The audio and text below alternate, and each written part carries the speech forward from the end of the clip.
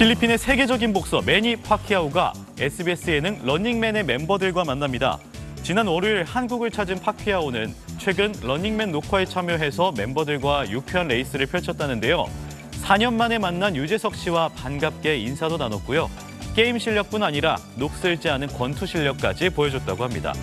특히 현장에서 김종국 씨와 파키아오 간의 대결이 성사됐다고 합니다. 결과가 어땠는지 궁금하네요. 지금까지 굿모닝 연예였습니다.